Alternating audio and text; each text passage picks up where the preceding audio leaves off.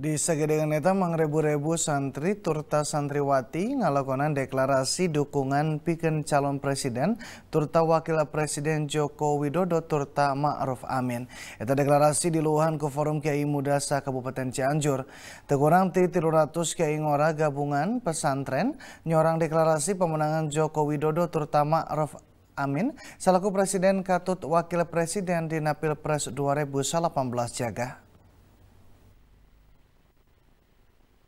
Tekurang ti 2000 santri Katut Santriwati Cianjur aub dina deklarasi dukungan pikeun Capres tur Cawapres Joko Widodo Ma'ruf Amin di Pasantren Miftahul Huda Al Musri di Kampung Cindog, Desa Kertajaya, Kecamatan Ciranjang, Kabupaten Cianjur, poe Kemis berang. Eta kegiatan anu dipitembeyan ku istigosah ngadua kebangsaan pikeun kasalamatan bangsa teh dituluykeun ku Kiai Ngora anu nyorang deklarasi dukungan turta pemenangan pikeun Joko Widodo Ma'ruf Amin minangka calon presiden katut calon wakil presiden periode 2018-2024.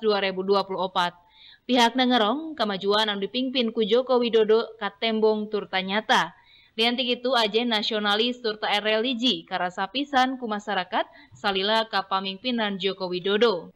Setelah kami melaksanakan deklarasi ini tentunya adalah bagian dari pola pikir sebelumnya yang telah kami rencanakan sebelumnya dan melihat uh, berbagai eh, wacana-wacana uh, yang saat ini di Indonesia terjadi dan juga melihat dari uh, suasana politik saat ini perlu adanya pembelajaran yang menyampaikan kepada politik yang santun, eh, cara berdemokrasi yang santun, maka kami dari Forum Kiai Muda Cianjur mendeklarasikan mendukung secara resmi kepada Bapak Insinyur Joko Widodo beserta Profesor Dr. Kiai Jimaruf Amin.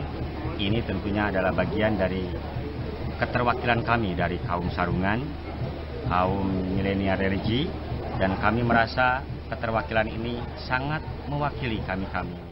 Riantik itu eta ratus ratus kiai ngora turta santri Cianjur teh sayaga jadi tim pemenangan Joko Widodo Ma'ruf Amin pikeun mingpin ieu negeri dina pemilihan presiden tahun 2018. Eta Kiai Ngora Cianjur ngageng sakumna pihak yang harapan pilpres kiwari bisa ngelakonan politik santun turta henteu ngadu-ngadu. Pihak nami harap calon wakil presiden Ma'ruf Amin bisa jadi wawakil kaum santri dina politik santun turta religius. Heri Setiawan, Bandung TV.